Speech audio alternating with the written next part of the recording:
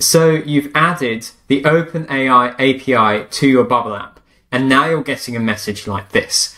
This model's maximum context length is 497 tokens. This can be a limit that's really easy to hit, especially if you're building a chat app where you're having to send all of the previous messages in that conversation along each time. It can grow very easily. Or you're building an app where you're writing or reanalyzing, rewriting huge blog posts. You're gonna hit the limit of how many tokens you can send, and there's a very easy fix for it, which is that GPT 3.5 Turbo is available as GPT 3.5 Turbo 16K. So that is four times the amount of content that you can send in your whole API call. And it's really quick to add this in. You just copy and paste the model name.